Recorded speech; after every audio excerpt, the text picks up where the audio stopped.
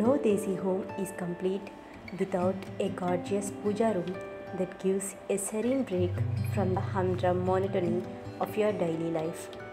And what feature best accompanies a classic puja room? The door that preserves it, of course.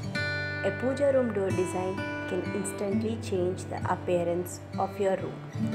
This video will give you the letdown of the different types of puja room doors you can consider for your divine space.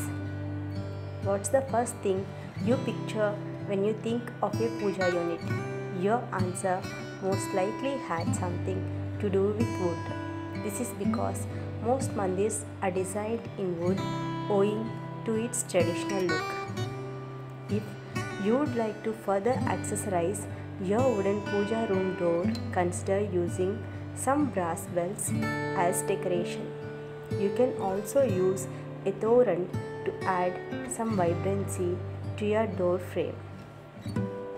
Despite its unique qualities, solid wood is relatively more expensive and may not be a cost effective option for everyone.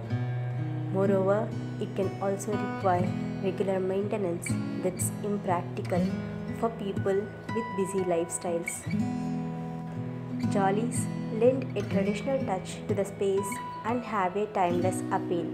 Secondly, a jaali can be made with different materials such as wood, acrylic, CNC, or laser cut MDF, ensuring that there is always one that can suit your budget. Compared to the other materials we discussed, glass is a relatively modern choice for puja room door designs. Assess the width of your puja unit and use it to decide which material to use.